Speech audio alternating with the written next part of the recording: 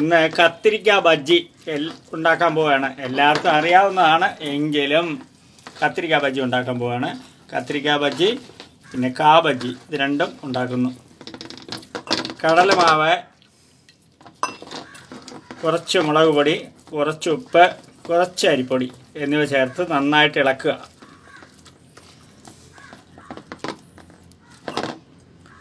വളരെ അത്യാവശ്യത്തിന് മാത്രം വെള്ളം ഒഴിക്കുക. അധികം വെള്ളമായി പോകരുത്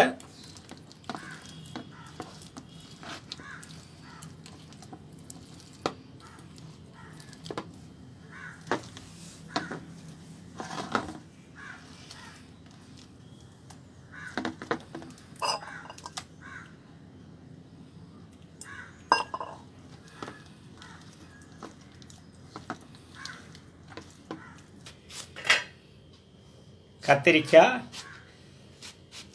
ഈ രീതിയിൽ കഷ്ണങ്ങളാക്കി എടുക്കുക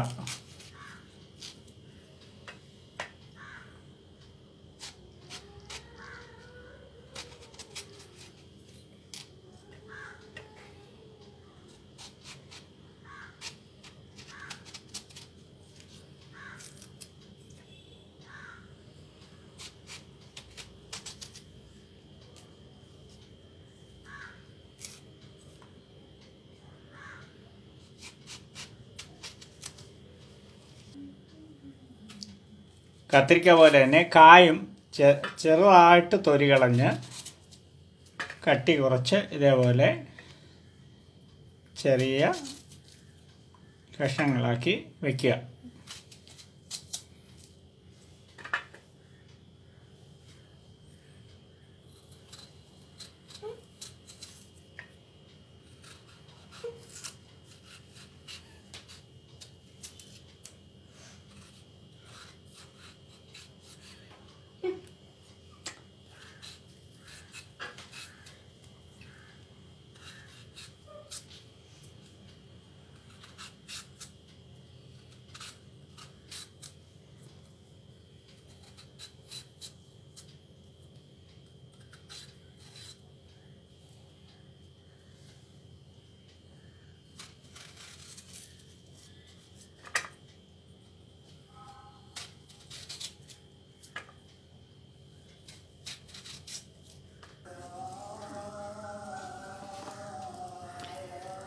എണ്ണ നന്നായിട്ട് അടുപ്പിൽ വെച്ച് ചൂടാക്കുക. പിന്നീട് കഷ്ണങ്ങളാക്കി വെച്ചിരിക്കുന്ന വാഴയ്ക്ക കത്തിരിക്ക എന്നിവ ഓരോന്നായിട്ട് നേരത്തെ മുക്കി വെച്ച് തയ്യാറാക്കി വെച്ചിരിക്കുന്ന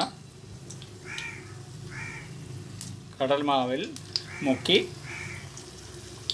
ഇടുക.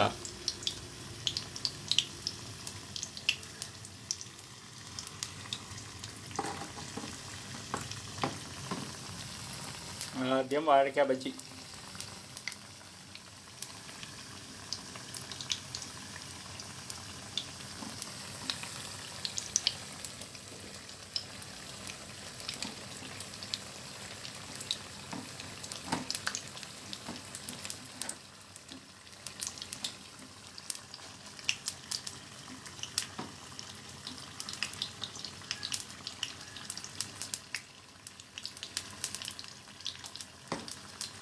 മാവ് നന്നായാൽ ബജ്ജിയുടെ രുചിയും അതിനനുസരിച്ച് നന്നാവും.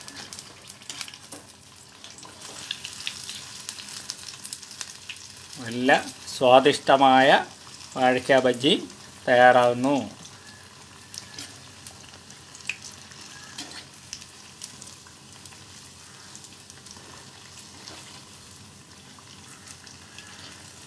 ആവശ്യത്തിന് മൂപ്പെത്തുമ്പോൾ കോരിയെടുക്കുക.